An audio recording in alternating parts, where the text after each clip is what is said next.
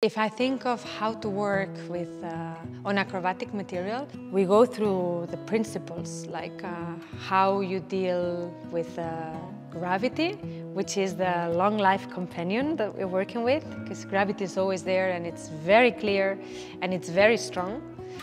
So then we need to work on uh, the alignment, body alignment, the use of uh, momentum, the use of pendulums, the use of um, bone structure, the use of breath, and sharing a sense of timing together. And we need to put a lot of attention to that because that's what makes uh, these structures or the movements work.